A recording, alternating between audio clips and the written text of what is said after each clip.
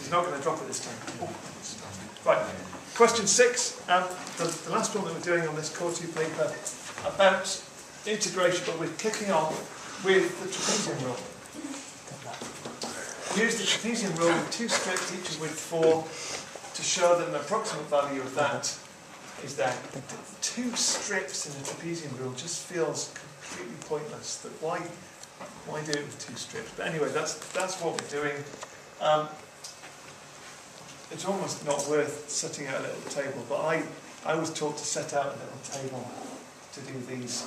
And so my, my two strips, if I've got two strips, that means I need three values, doesn't it? Because I need one either side.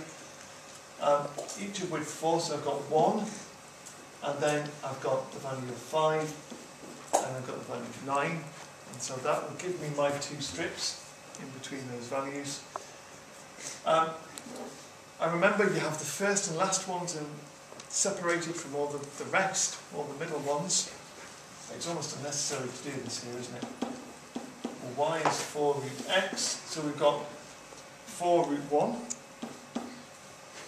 Then we've got 4 root 5. And we've got 4 root 9. Which be 12, and so we get those three values.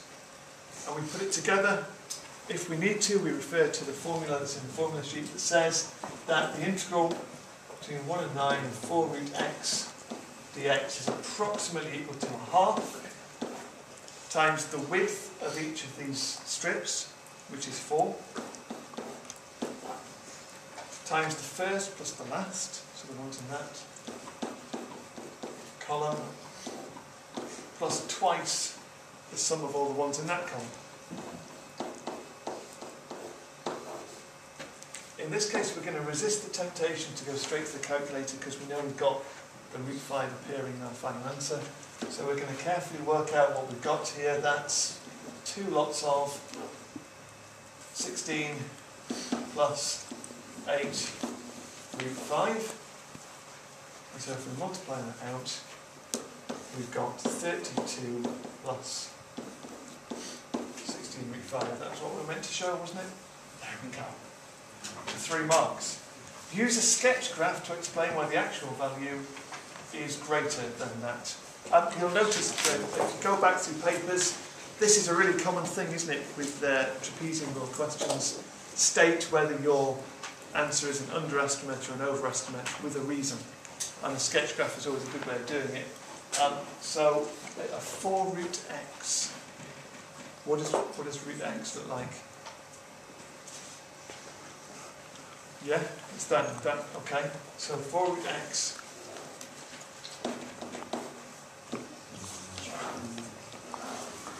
is the graph that does that.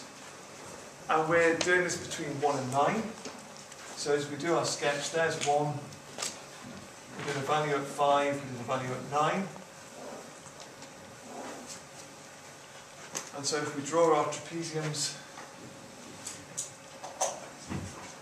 and maybe even slightly exaggerate it to look like that, then we can clearly say, explain why the actual value is greater than that.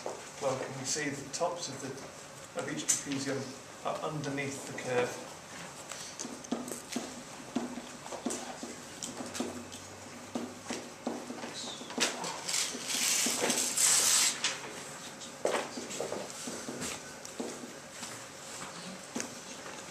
Exact value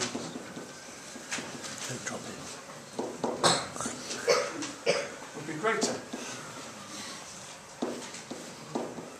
It's, it's good fun doing this. So we do that. That's, that's so we should try nice next time. illustration with the sketch, isn't it? To Okay. really make that clear what we've done. Um, and then, I'm quite proud of that. Then part three, use integration to find the exact value of that. So we're doing now the integral from 1 to 9 of 4 root x dx. Uh, what are we going to do before we integrate this? Put it in a different form, what like? We're going to put it in index form, so we're going to write it as 4 I'm gonna x to the half, because root x is x to the half. Now we can integrate it, add one to the power, divide by the power. Where is it? Close. You were. Oh. Or what?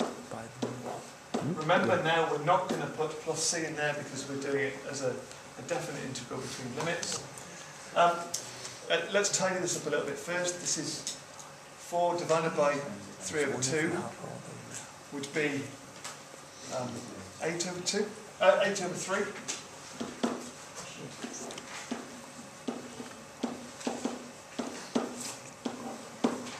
Between 1 and 9. We've got to be careful here because the question did say give an exact value, so we've got to make sure that we give a value nice and exactly. That would be, well, 9, three, power of 3 over 2. Again, in core 1 this morning, we, we talked a bit about how we deal with this. We square root it first and then cube it. So that is 9 square rooted is 3, cubed is 27.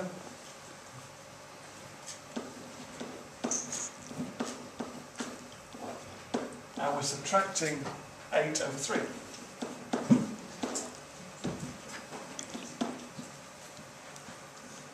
Um, what are we ending up with?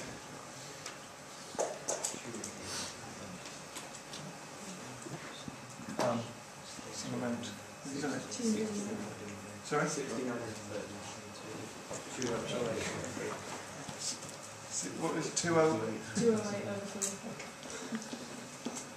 I decided it was too late in the day to do it in my head. Are, are we happy with two oh eight over three? And that's, uh, that's an area, isn't it? Square units.